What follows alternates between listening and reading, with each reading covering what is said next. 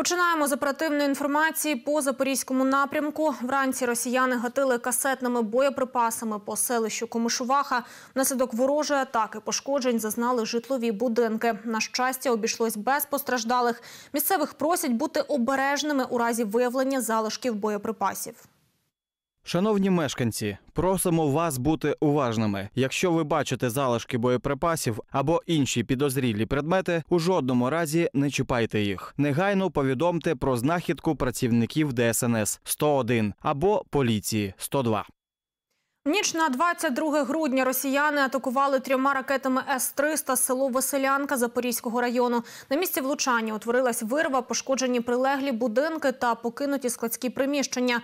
У Степногірську і Плавнях внаслідок ворожої атаки руйнувань зазнали будинки місцевих. Неспокійно минулої доби було і у Пологівському районі. Від ворожого вогню потерпають приватна територія жителів Оріхова та Гуляйполя. Зокрема, зруйновані подвір'я, присадибні будівлі, гаражі.